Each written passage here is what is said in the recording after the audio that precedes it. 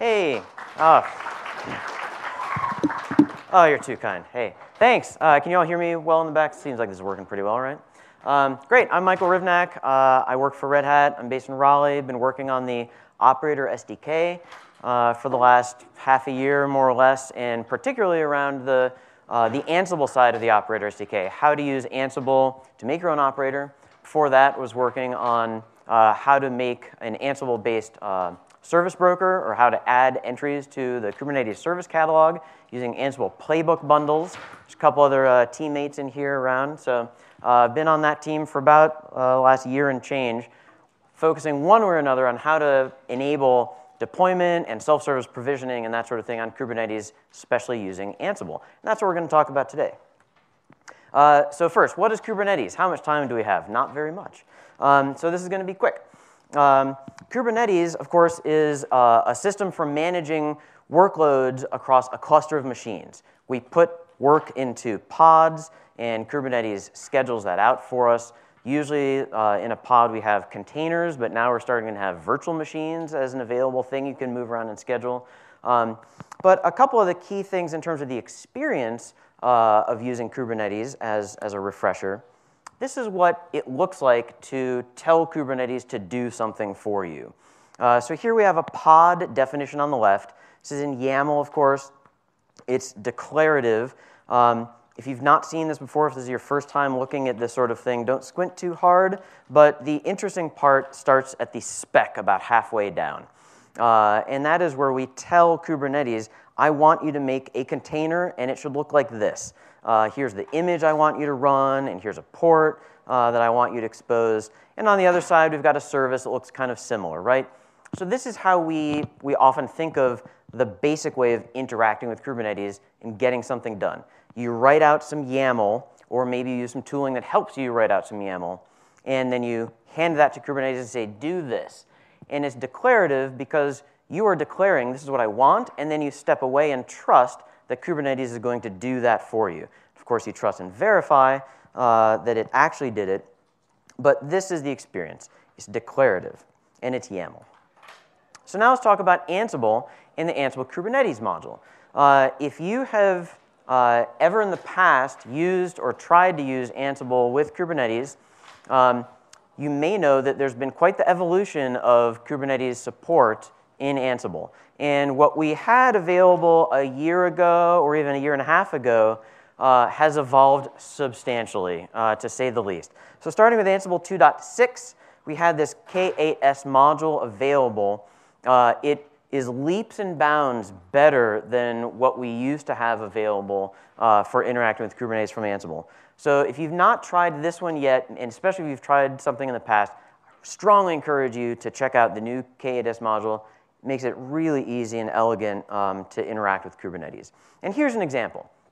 On the left, we are just creating a config map.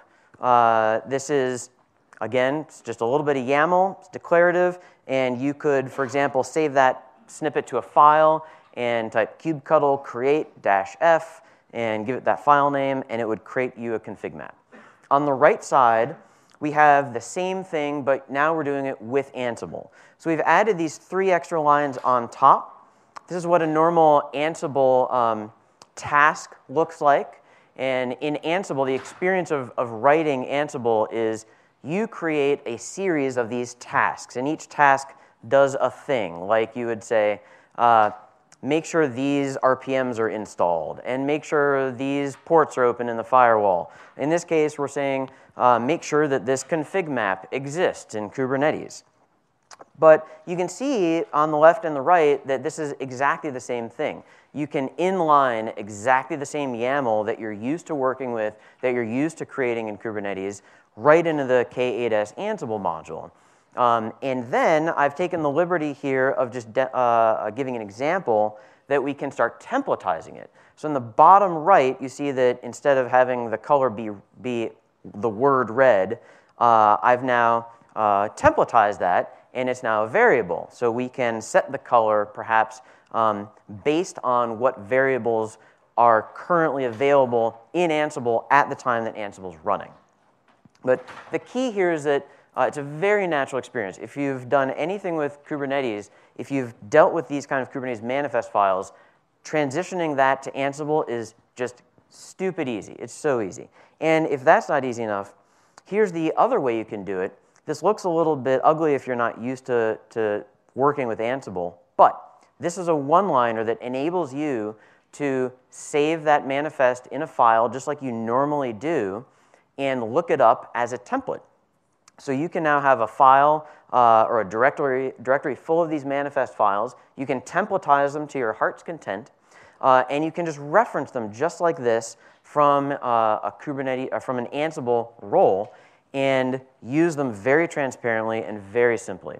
Um, so now you can run Ansible, and it will create or it will ensure that all of those resources have been created, create them if they have not been created, or if their state is different than what you've declared, it will change them to make sure they match that state that you've declared.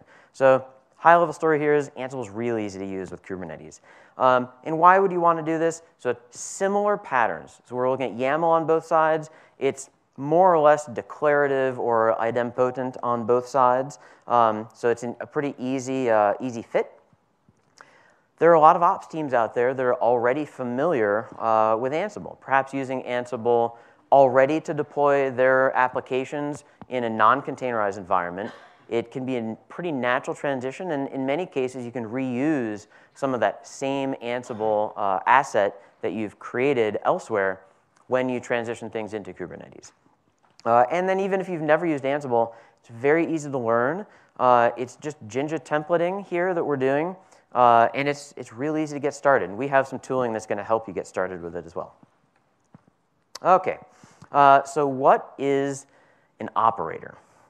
Uh, this is a Kubernetes controller. An operator is a special kind of Kubernetes controller. We're going to look at an illustration in just a moment of exactly how they work. But a, a controller is basically a process that runs in your cluster uh, and watches for these kind of objects to be created through the API and then does something in response.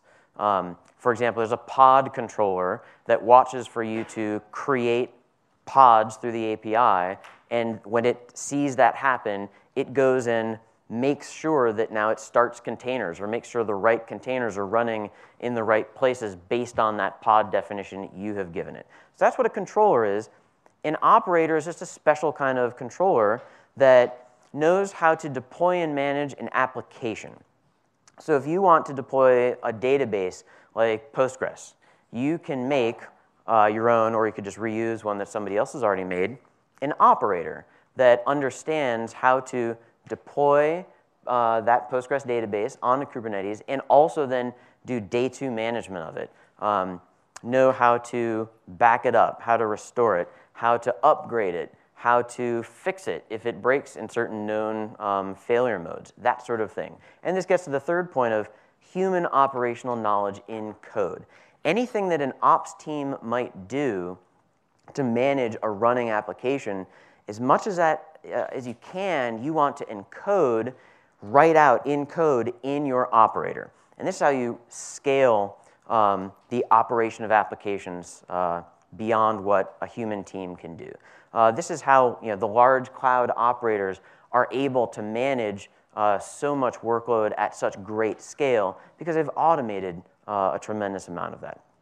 So that's, in a very basic sense, what an operator is. Um, but let's start with the, the beginning of how do you interact with your operator? Uh, how do you define um, the, the interface between the human who is going to use an operator to deploy something uh, and the actual mechanics that are going to do it. And it starts with the ability to extend the Kubernetes API. Kubernetes has this thing called custom resources. If you imagine a REST API and a whole bunch of REST API endpoints like you've seen in many web applications, Kubernetes also has a REST-ish API. Uh, but what's unique is that Kubernetes gives you the opportunity to extend that API you can add your own resources. Um, I could add one called Michael uh, and make it whatever I want. I could add a resource called Postgres and make it whatever I want. And now we're talking about how to make an operator. So uh, you can create this custom resource. You can specify what fields are available to use in that custom resource. Um, here, this is a, a, very simple example of a memcached resource. So now, once I've created this, uh, there is literally a new set of endpoints in the Kubernetes API for my cluster uh, that would be available at cache.example.com slash v1alpha1 slash memcached. And I can create those resources, I can delete those resources, and I, I can update them, do all the normal web API kinds of things with that. Um, and you can specify what fields you want. So now we can start thinking of this like an installer. All the same kind of input you might take in an installer for an application, here you would add those fields to this resource and collect information from the user about um, what things do you need to tell me about how to deploy this thing you want me to deploy, and then I will go do it. So an installer is another way to think of what an operator is.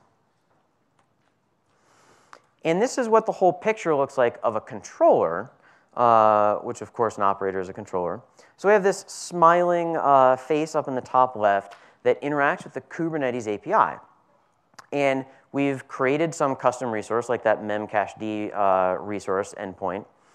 And this smiling face tells the Kubernetes API, uh, here is an instance of that resource I want you to create. So here's a memcached definition, make this. Uh, that resource ends up in Kubernetes. Uh, the Kubernetes API stores it in its data store, which happens to be etcd. Uh, and we have this orange controller down here in the middle that is watching for events related to that particular resource type. This is our operator. Uh, and when it receives one of these events, its job now is to run a reconciliation loop. Uh, so it sees this object just got created or updated or something happened to this object. So I'm going to run the reconcile function with that object. And that reconcile function is the real brains behind your operator. Uh, that is what decides um, how to create the resources, how to go look at what exists in the world, what has this person asked me to make the world look like, and reconcile the differences between those two things. Um, and in that reconcile loop, in this case of an operator, we're going to create some resources or ensure that those resources exist and out pop the, the pieces of your application. So this would be all the pods and services and um, storage and anything else you need to do. We're creating Kubernetes. Sorry, everything okay? uh, the, he's just dumbfounded by how, uh, how easy this is. Um, this is how you can deploy uh, an application and make an operator. This is the, the basic workflow. And what I want to point out about this, uh, this workflow of this reconcile loop, every time you run this reconcile loop, uh, it, you should get the same results, basically. Much the same way as when working with Ansible, we, we have a goal of you could rerun the same Ansible playbook over and over and end up with the same results at the end. Um, so there, this is a really good fit here. Um, and what we're going to look at now uh, is in an Ansible model, our reconcile loop down here in the middle, we have uh, the operator SDK, which something we'll talk about in a minute, um, which helps you to build your own operators, not only with Ansible, but um, other ways as well.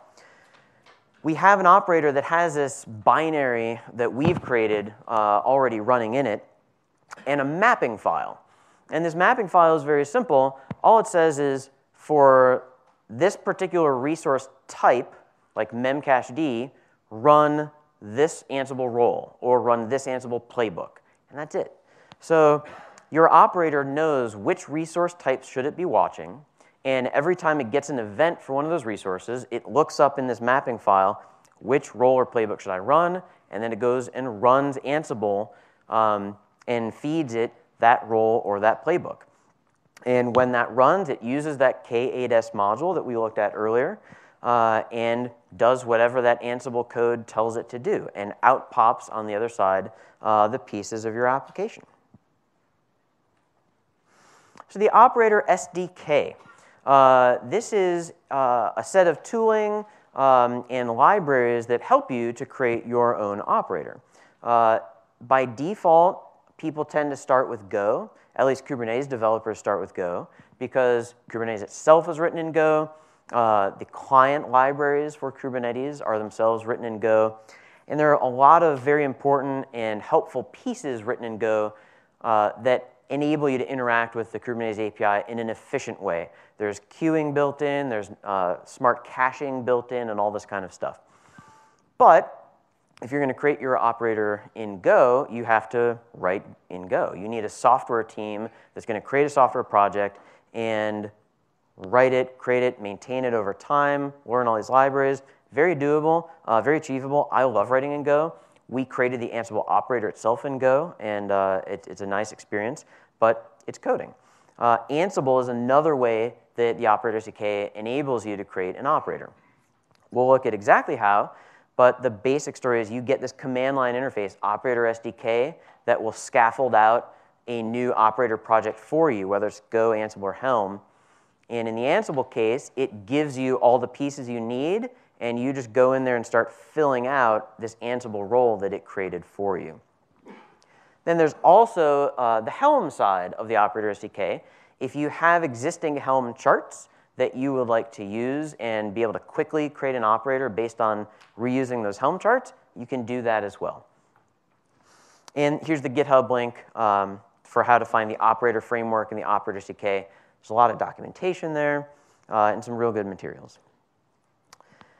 Let's talk a little bit more about the, the interface, experience of interfacing with this, and, and how we get data, this installer type data from the user into the operator and into Kubernetes. On the left, we, we've broken down a diagram of what a custom resource looks like. So uh, the type is devi- defined by group, version, and kind. Uh, and then within some given namespace, we uniquely define each resource by its name. So within any type, you can have one name of a resource per namespace. Now we get to the spec. This is the, this is the important part. This is where you specify what you want the world to look like.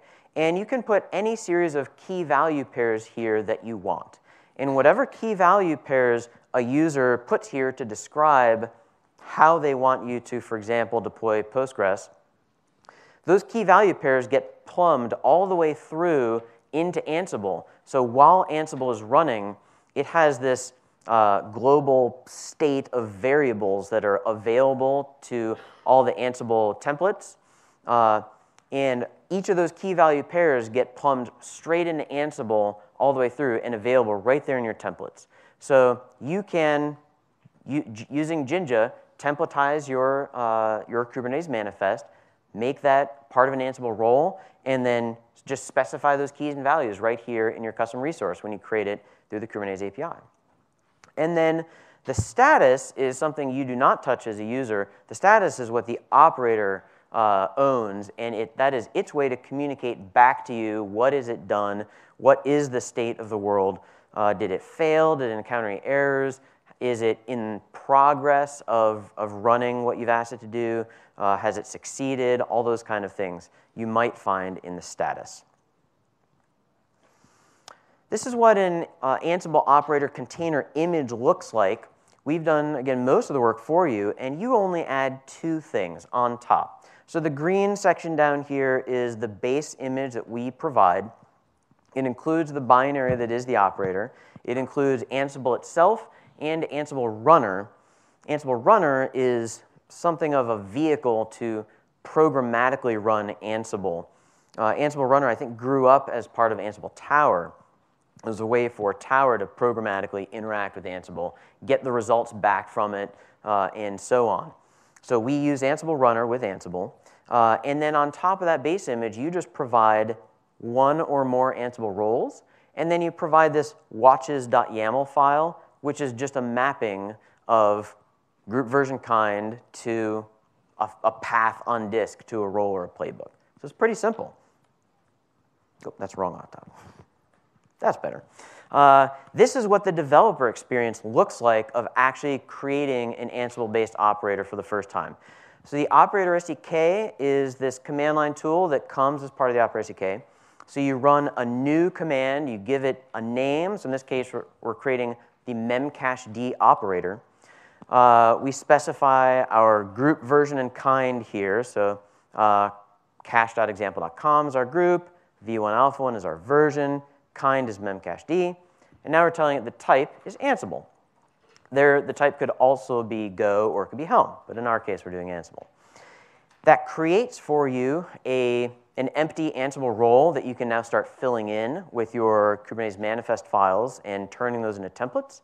It creates for you a mapping file that's already set up with this resource of this name mapped to that, uh, that brand new role that it created for you. It has the custom resource definition, and it has all the deployment manifest that you need to deploy your operator in Kubernetes. If you'd like to know more about this, um, my colleague Derek here and I are running a workshop on Sunday morning at bright and early 9 o'clock. Uh, for those of you who don't have too much fun on Saturday night, uh, we will be here. There will be coffee, I'm sure. Uh, so come hang out and come. We're going to put our hands on code and we're going to make Ansible operators um, on Sunday morning. So that I think we've got a few minutes for questions. So lay it on me. Which, which room? no idea, but I'm sure it's. I'm sure it's on the schedule. Yeah. Yeah, we've got two days to figure that out. All right, what, what other questions besides, besides the room? A112, thank you, Carol. No questions. Sunday. Thank you for thank you for stalling with another easy question. um, yes. So the only way that the current state of the uh, of the Kubernetes environment is represented to this playbook is through the extra variables. Um, in part, that's true. Yes. The question is: Is the state of the world represented to the to the Ansible playbook through those variables that come in from the CR? Um, I would I would actually say no. Um, the state of the world is available for inspection by Kubernetes itself. So you can use the Kubernetes module to to read other objects, um, for example, and get state from them for you know potentially um, as that makes sense. And Ansible is quite powerful. I mean, what we've looked at here just, just now today is extremely, you know, the, the most simple, basic uh, option. But you can do advanced kind of things. Um, you can handle upgrade paths. So you could, for example, look at uh, this user has asked me to deploy version 1.3, but I can look at the cluster and see that 1.2 is currently deployed. Based on that, I'm going to run this block of Ansible text uh, or Ansible tasks um, and facilitate that workflow. So the same kind of logic you could do in a, a Go root. Ah, thank you. Yeah, A112 is, is going to be the, the room on Sunday morning. Um, so yeah, it, a mix of you get the user input um, from that CR, but then you can look at other resources as well to figure out state of the world. The, the event that the playbook gets is really just saying some change has been made to this resource definition, and it's up to the playbook to inspect the resource definition, inspect the Kubernetes environment, and then. That's exactly right. The operator gets an event, and the operator should not care what type of event that was. Um, because in some cases, events will even be collapsed into one. If there's a lot of events that have happened since the last reconcile, um, they may be bundled into one poke uh, that just says, you should reconcile right now. And yeah, every time reconcile runs, its goal is to look at the current state of the world, look at the requested state of the world, and move the, the real world closer, maybe not all the way, but at least closer to what the desired state of the world is.